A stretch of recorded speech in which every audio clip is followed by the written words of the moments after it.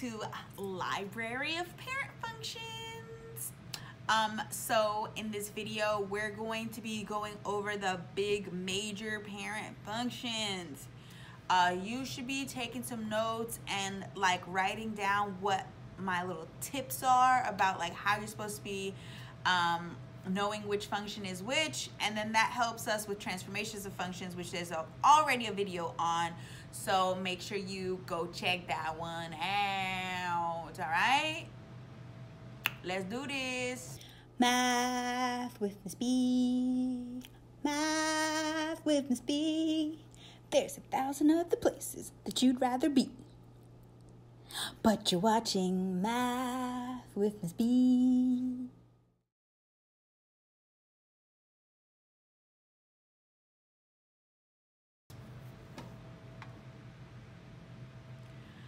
okay the first one is a constant function. A constant function is a horizontal line. It looks like f of x equals c okay? In this case c is going to be equal to 0 but c could be equal to 2 it could be equal to 5 it could be equal to negative 16 whatever okay? So the table of a constant looks like this. It looks like all the y values are the same. They remain constant you see what we did oh you see it you see it okay so um if f of x was equal to 2, then that entire y column would be 2's. If f of x was equal to negative 6, all of that y column would be negative 6's, okay? So this is our little graph. Um, so we're going to plot the points. Boop, boop, boop, boop, boop. Look at that. Uh, when you plot the points, they all make a horizontal line. That's what a constant function looks like. The domain of a constant function is all real numbers.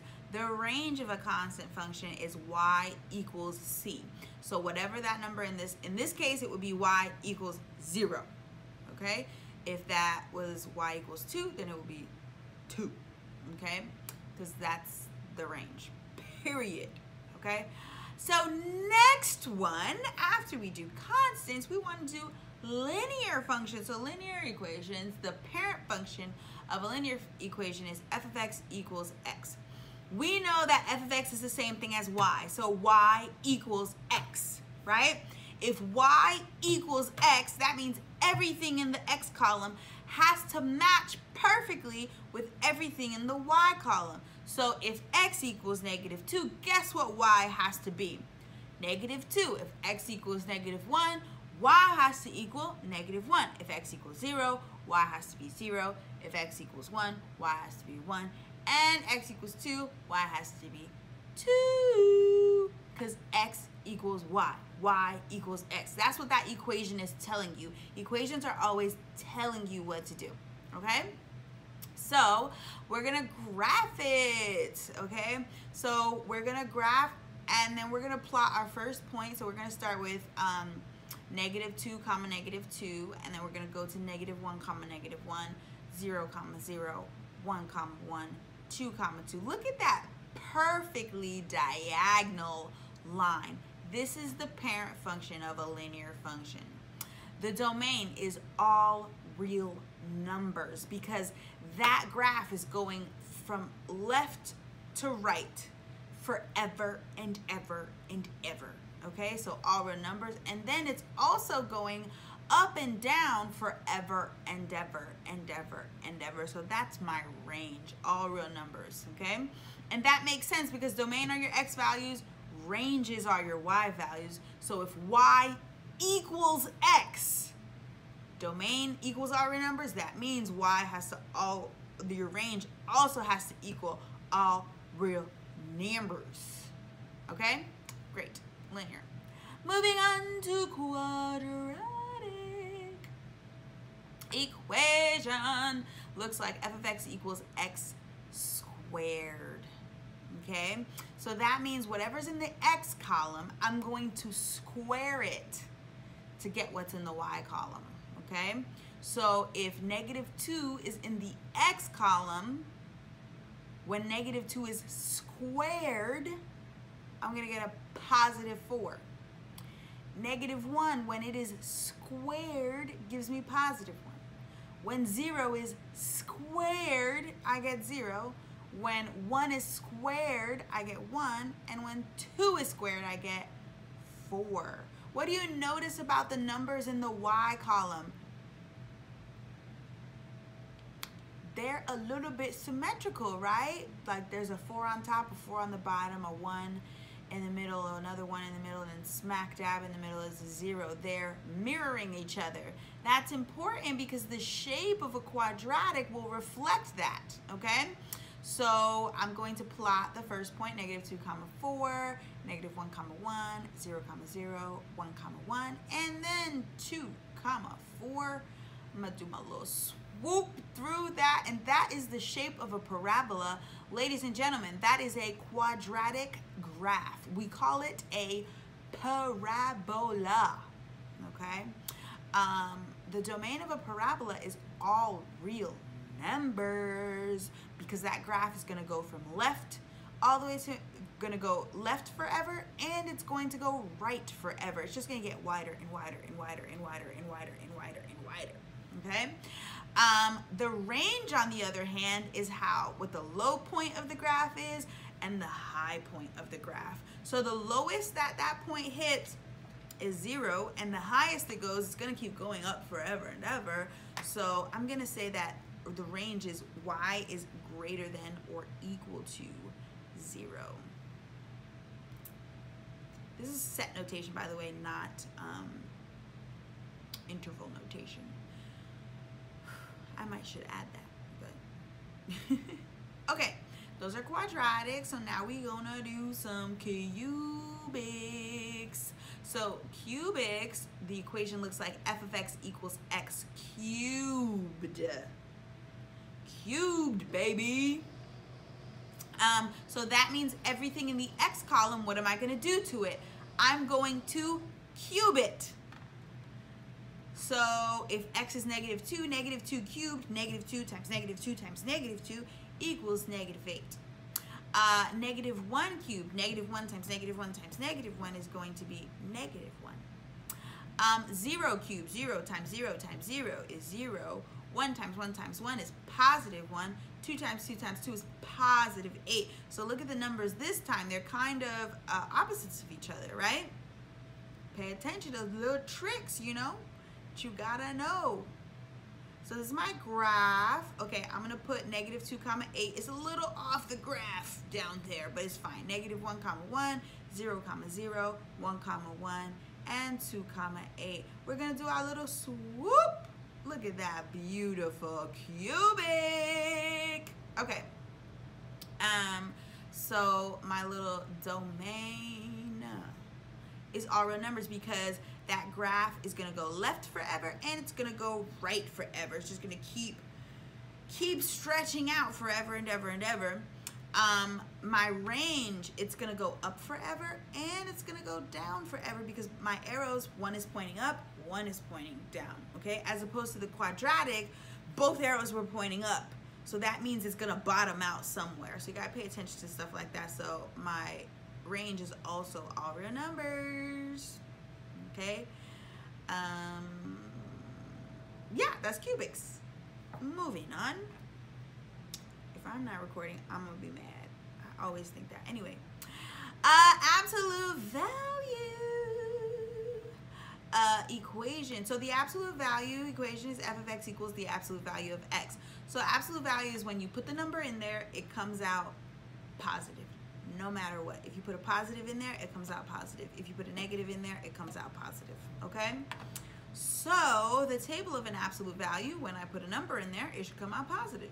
If I put a number in there, negative 1, comes out positive 1. Negative 2 came out positive 2. 0 comes out 0. 1 comes out 1. 2 comes out 2.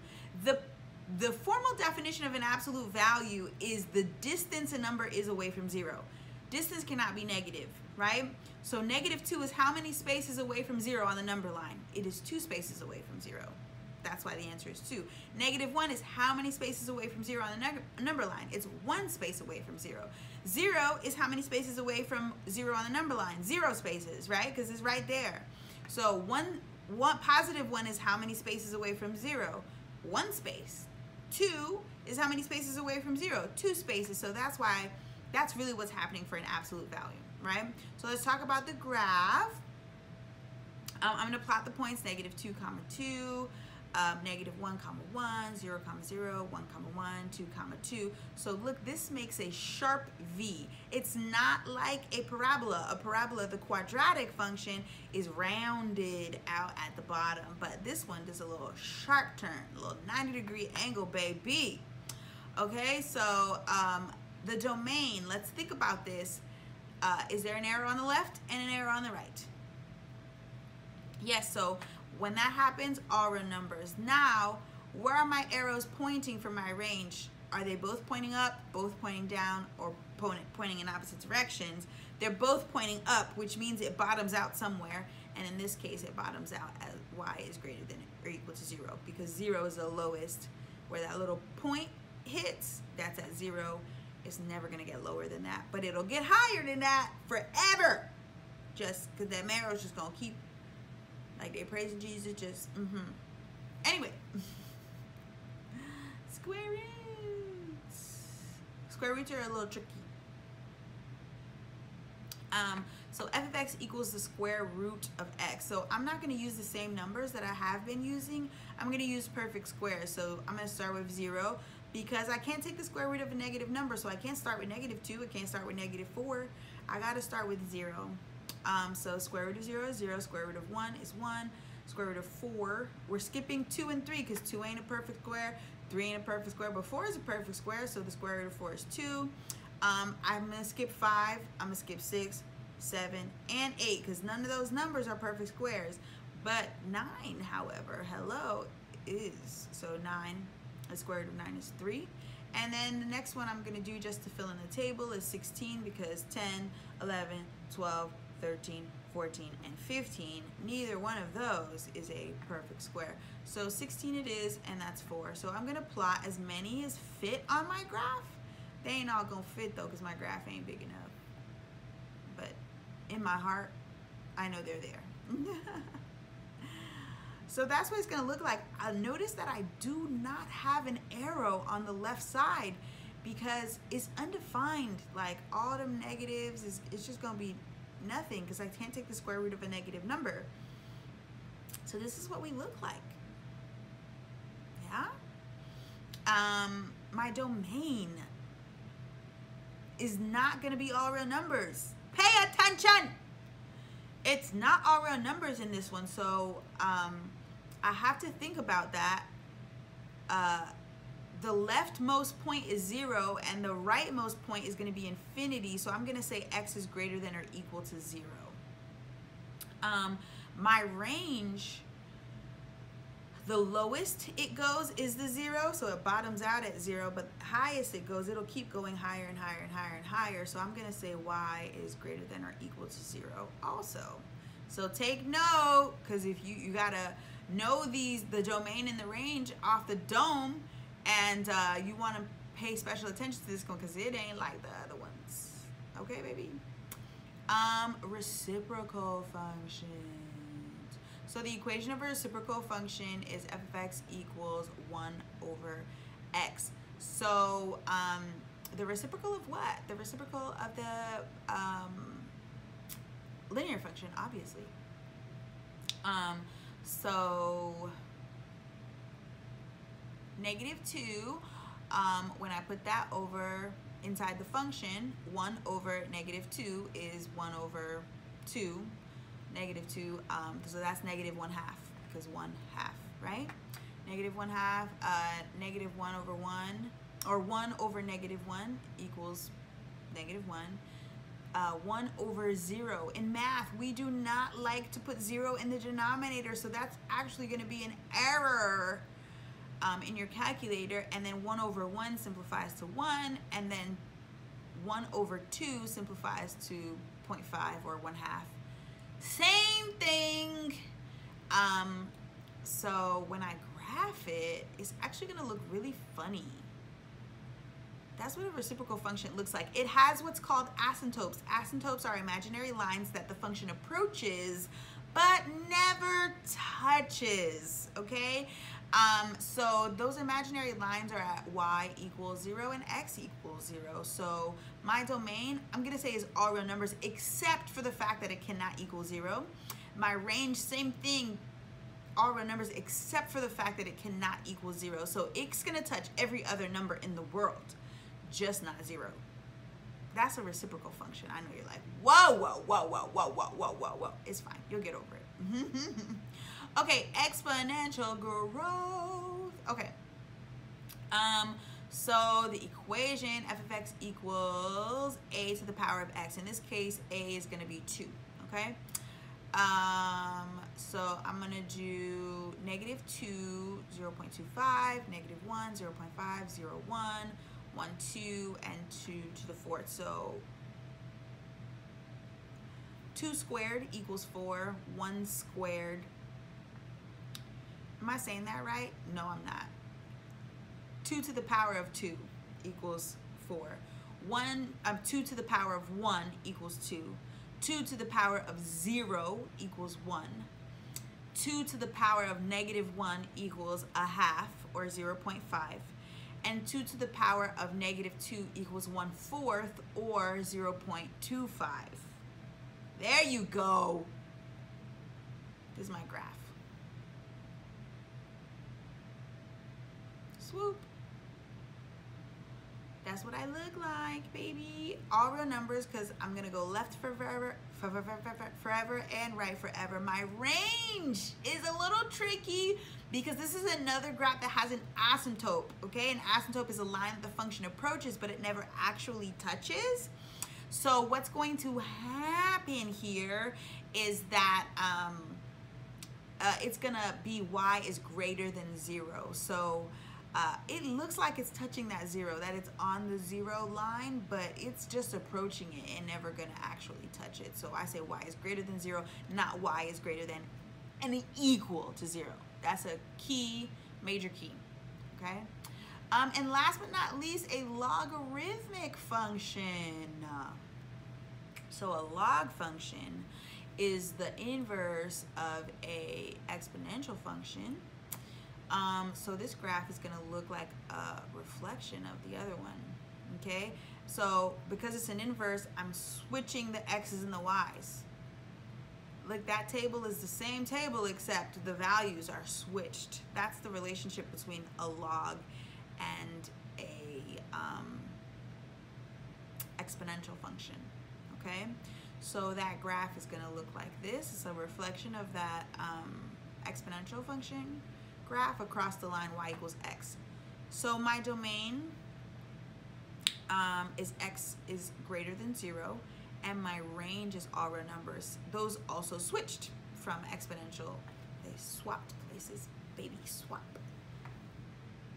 And that's it. Those are your major parent functions. And um, yeah, you need to know this information. Uh, so I hope you are taking some notes, copying down some little tidbits. Um, go back through, watch it again. Uh, tell your friends. um, and if not, I will see you in the next one.